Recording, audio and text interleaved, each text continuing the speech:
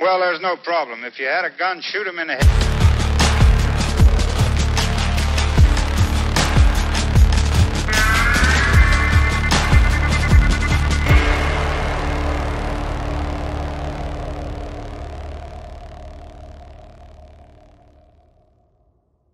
Hey guys, Hop here for TFB TV. We are at the NRA Annual Meeting 2023 at the CETME booth, talking to Dave, the owner of MarColMar. And uh, Hey, you said it right. Oh. Fantastic. okay, I wasn't sure. I was taking a crack at it, but we're taking a look at a, a new version of the CETME L That's correct. in 300 Blackout. Hoping you could walk us through the gun. Sure. Uh, about four years ago, we acquired 10,000 part sets for the Spanish CETME. Uh, it's the last roller locking gun ever built for a military. It's the last design that CETME ever created, and it's the only roller locking gun that was ever designed specifically for 5.56. However, as you know, and as the viewers know, there's a new caliber in town, and the 300 Blackout has gotten a huge following. but we didn't know of any roller locking alternatives in 300 blackout. So we decided to re-engineer the gun to allow 300 blackout to be shot out of a traditional roller locking firearm.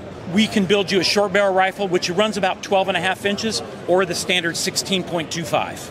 Gotcha. I know the, the big difficulty when suppressing roller delayed guns is trying to get the locking angles correct. That's correct. If you guys try to suppress this, what uh, what kind of results do you guys get with supersonic versus subsonic?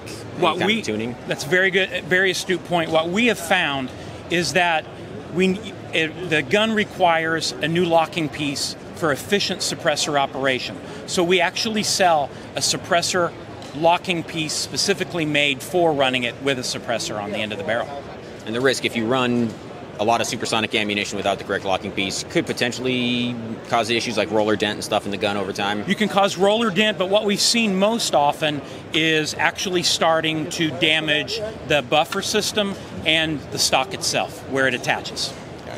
And if you guys had the chance to try any like you know low uh, low back pressure suppressors or anything that maybe don't require as much tuning? I don't know if you guys want to necessarily recommend those to people, but is that an option you think? Oh, there, there are options. We have tested several suppressors that didn't need the modified locking piece. What we would recommend is if a user decides they want to suppress the 300 blackout, put their suppressor on, run it. If you'll know if it's overboosted, and then if you see the need for that, pick up the the locking piece that's specifically made for that.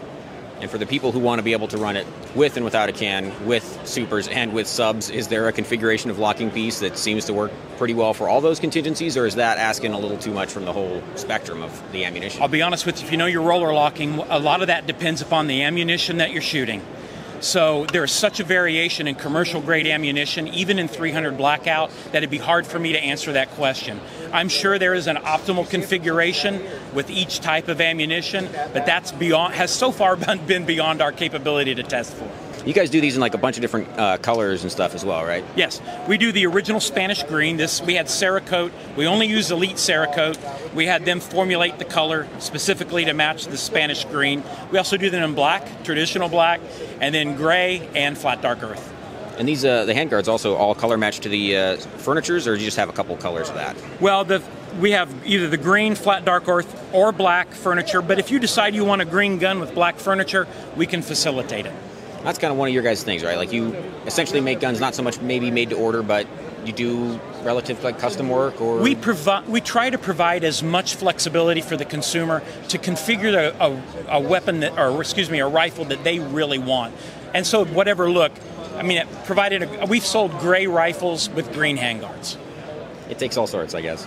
And you guys essentially work directly with customers, right? So if people want to, to buy rifles from you, you just ship to their local FFL. We can ship to their FFL if there are people who want to stock these guns for their uh, gun store. We also are distributed through MSR. Awesome. And do you guys have a price point and availability on the 300 blackout versions? The barrels are actually in machining as we speak. The price will be exactly the same between Blackout and our 5.56 rifle. MSRP on the configuration you see there with the Picatinny rail is $1,350. Does that uh, include an alternate locking piece, or is that something that they can get directly from you That's something the they can get directly from us.